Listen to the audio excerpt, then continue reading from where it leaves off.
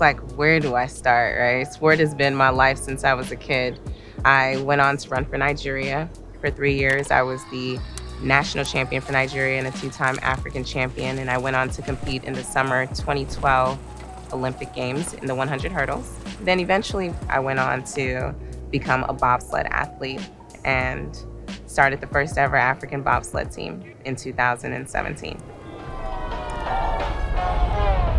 My first Olympics was really, uh, it was a journey because it was me proving to myself that I can compete with the best in the world. And it is an experience that will forever live in my heart.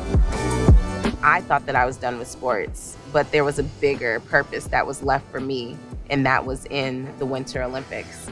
A true passion of mine was really helping people. And so I thought about it and I said, well, what would make me eligible to really be able to help those athletes that I know I can help? As a black woman, it's not prevalent for us to be at the highest level of competition. These are spaces that have been most commonly taken over by males. And so I said, well, one thing that would definitely put me in a position where I can't be denied is if I went back to another Olympic Games. I had a few friends from track and field who had gotten into it, and eventually the sport and the interest started to grow to become much bigger than me. And that's how I ended up starting the Nigerian Federation.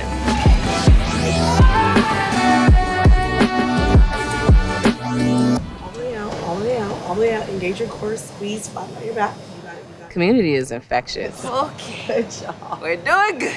You pull your influences from your community either in a positive or a negative light and they understand the importance of achieving at a high level, as well as leaving a space better than where you found it. Perfect. All right. So I'm grateful that I have a community that understands me and that we vibe on the same level. You saw it? Yeah! Nigeria, my country. it's been in my life purpose to try and do my best to elevate the vision of what people see in Nigeria and in Africa and to invite others to see the country and the continent as a place of respect, a place where people deserve opportunities, a place where you can look at and say, yeah, you're sub Saharan, but you're also a winter sports country. In life, time stops for no one. So you can choose to sulk and be still, or you can choose to continue moving forward and truly make a difference and impact your legacy.